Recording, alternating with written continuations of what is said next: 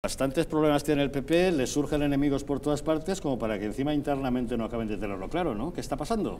Bueno, lo que está pasando es que estamos todos trabajando, todos unidos, eh, con un objetivo claro y un objetivo que esperemos que llegue pronto, que es que Pablo Casado llegue eh, a la Moncloa por el bien de España y de todos los, los, españoles, porque no nos podemos olvidar que Sánchez solo quiere el poder, a Sánchez no le importan los ciudadanos, no hay más que ver eh, cómo está gobernando, que parece que está gobernando en contra de los españoles y en concreto de los ciudadanos de la Comunidad de Madrid. Por tanto, nuestro principal objetivo es que Pablo Casado llegue, llegue a la Moncloa.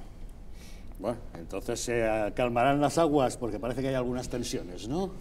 Yo no creo que haya tensiones, yo creo que la presidenta Ayuso es un valor, un valor que ha devuelto la ilusión a los madrileños y que, y que ha manifestado una voluntad que es la de presidir el Partido Popular de la Comunidad de Madrid. Pero insisto, eh, con lealtad a España, a los españoles, al partido y al presidente Casado, como ella misma ha manifestado. Sí, sí, sí, ella lo ha dejado clarísimo. Son otros los que lo ponen en